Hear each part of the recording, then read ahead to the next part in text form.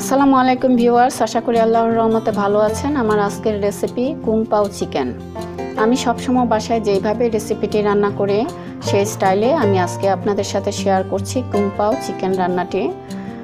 Viewers, আমার চ্যানেলটি যারা সাবস্ক্রাইব করেছেন, তাদেরকে অসংখ্য ধন্যবাদ পাশে থাকার জন্যে। আর যারা এখনও সাবস্ক্রাইব করেননি, প্লিজ সাবস্ক্রাইব করে পাশে থাকা বেল আইকনটিতে ক্লিক করে রাখুন, যেন পরবর্তী রেসিপির নোটিফিকেশনগুলো সহজে আপনারা পেয়ে যান। কুং পাও চিকেন রান্না করতে কি কি উপকরণ লাগছে এবং কীভাবে রান্না করে নেওয়া যায়, তাহলে চলুন দেখে নেওয়া যাক। কুং পাও চিকেন রান্না করার জন্য আমি মুরগির বুকের মাংস নিয়েছি আড়াইশো গ্রাম। পাতলা করে কিউব করে কেটে নিয়েছি। ওয়েস্টার সস নিয়েছি আমি দুই টেবিল চামচ। পেঁয়াজ ফালি করে নিয়েছি আমি হাফ কাপ। কর্নফ্লাওয়ার নিয়েছি, এক টেবিল চামচ। ময়দা নিয়েছি, দুই টেবিল চামচ। চিনি নিয়েছি, এক টেবিল চামচ। সস নিয়েছি আমি হাফ কাপ টমেটো সস। বাদাম নিয়েছি আমি ওয়ান ফোর্থ কাপ। সবজির মধ্যে ক্যাপসিকাম নিয়েছি, গাজর নিয়েছি, ব্রকলি নিয়েছি। পেঁয়াজকলি নিয়েছি। আপনারা আপনাদের পছন্দ মতো সবজি দিয়ে বানাতে পারেন। প্রথমে একটি বাটির মধ্যে এক টেবিল চামচ কর্নফ্লাওয়ার দিয়ে তার সাথে দিয়ে দিচ্ছি তিন টেবিল চামচ পানি। আমি এখন সসটি বানিয়ে নিচ্ছি, যেটি আমার কুম পাও চিকেন রান্না করতে লাগবে। দিয়ে দিচ্ছি এক টেবিল চামচ চিনি, দিয়ে দিচ্ছি এক টেবিল চামচ ভিনেগার। দিয়ে দিচ্ছি এক টেবিল চামচ সয়া সস দিয়ে দিচ্ছি এক টেবিল চামচ ওয়েস্টার সস ওয়েস্টার সস আমি বাসায় বানিয়ে নিয়েছি। আপনারা যে কোনো মুদি দোকান বা সুপার শপগুলোতে পেয়ে যাবেন। আপনারা কিনেও নিতে পারেন।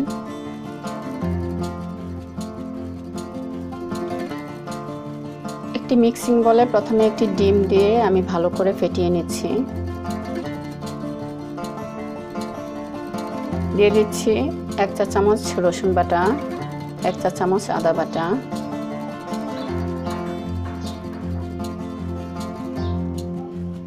সব উপকরণ দিয়ে আমি প্রথমে একটি ব্যাটার তৈরি করে নিচ্ছি। দিয়ে দিচ্ছি এক চা চামচ গোলমরিচ গুঁড়া।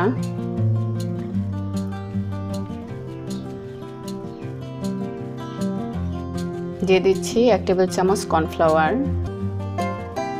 দিয়ে দিচ্ছি দুই টেবিল চামচ ময়দা।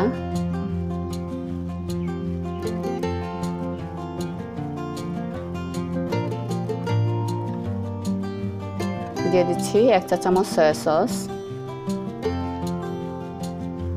দিয়ে দিচ্ছি এক টেবিল চামচ ওয়েস্টার সস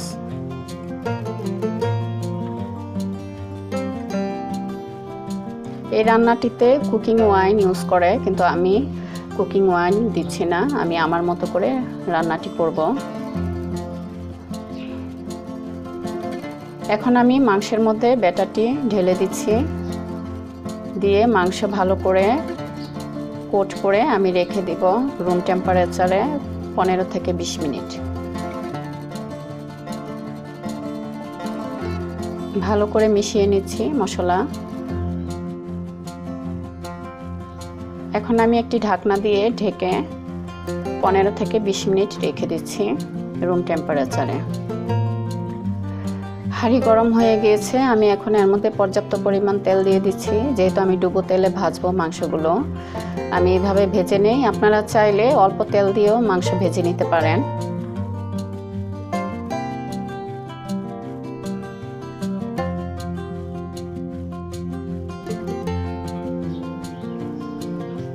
মিডিয়াম এবং লো ফ্লেমের মাঝামাঝি রেখে মাংস ভাজতে হবে।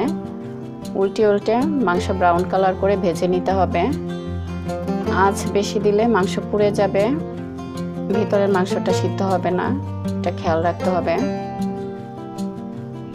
হয়ে গিয়েছে মাংস ভাজা।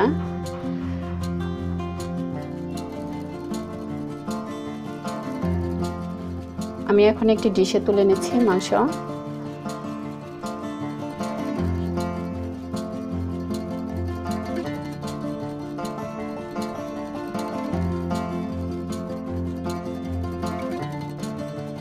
একটি প্যানে বাদাম দিয়ে বাদাম ভেজে নিচ্ছি।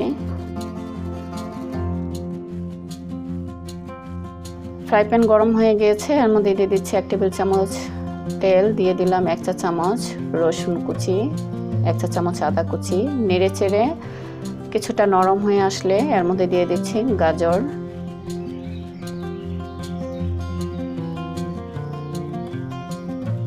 দিয়ে দিচ্ছি ব্রোকলি, ক্যাপসিকাম। পেঁয়াজকলি দিয়ে দিচ্ছি স্বাদ মতো লবণ। দিয়ে দিচ্ছি ভেজে রাখা বাদাম। দিয়ে এক মিনিটের মতো আমি ভেজে নিচ্ছি। এর মধ্যে দিয়ে দিচ্ছি আমি ভেজে রাখা মাংস। ভেজে রাখা মাংস দিয়ে আমি আরও এক মিনিট ভেজে এর মধ্যে দিয়ে দিচ্ছি আমি শুকনা মরিচ। ফালি করে রাখা শুকনা মরিচ দিয়ে দিচ্ছি। আর আমি যে সসটি বানিয়েছিলাম এর মধ্যে দিয়ে দিয়েছি।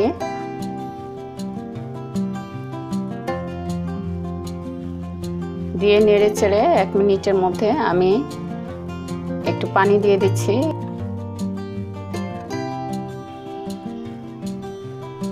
নেড়ে চেড়ে আমি দুই মিনিট রান্না করে নিচ্ছি।